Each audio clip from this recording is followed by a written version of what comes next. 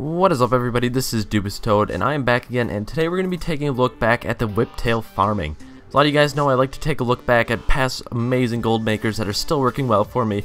So today we're going to take a look at the whiptail, which was very good for gold making back during Cataclysm. So if you're unfamiliar with the route, here it is. It's very simple. You basically just follow the water in the middle of Uldum.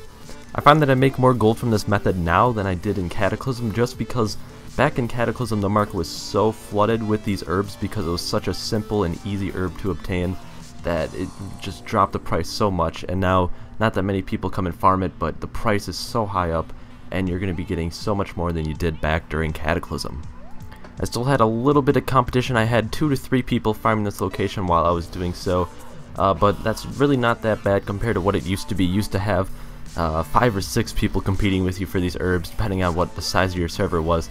So uh, it's definitely nice to not have nearly as much competition. But anyways, we're done with our 15 minutes of farming, so here are our results. We were able to get 147 of the whiptail, which got us 493 gold and 92 silver. And those sold right around 3.36 gold per uh, whiptail.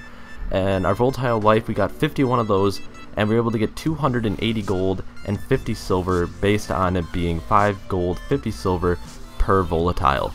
So anyways, when you add those two together to get your total, were able to get 774 gold and 42 silver.